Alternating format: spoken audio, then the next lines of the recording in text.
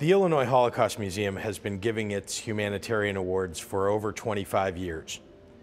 What we stand for here at the museum are the universal lessons of the Holocaust, fighting bigotry and hatred and educating young people. In fact, we tell young people who come into this museum that they need to be upstanders and not bystanders, that they need to stand up for those who cannot stand up for themselves.